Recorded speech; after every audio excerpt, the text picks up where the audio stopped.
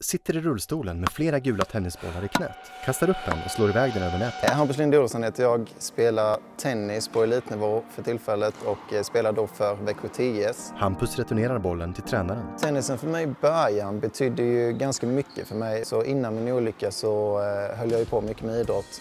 Tränaren går bredvid. Efter olycksskedet där så, så blev det mycket att man la av med allting fysisk aktivitet på så sätt. Började i och för sig gymma lite men idrotten och just den här bollsporterna var ju viktiga. Eh, och där betydde ju tennis enormt mycket för mig i början. Eh, men sen var det även där man kom ut på de här nybörjarlägena och där var det många som satt i samma sits, liksom var ganska nya på det och fräscha liksom. Hampus kastar upp bollen och servar.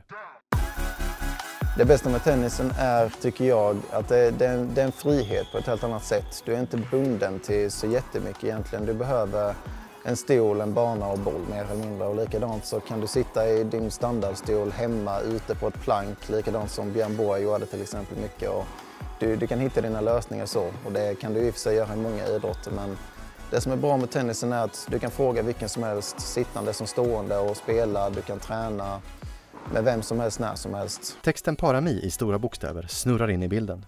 Detta var en film av Parasport Sverige.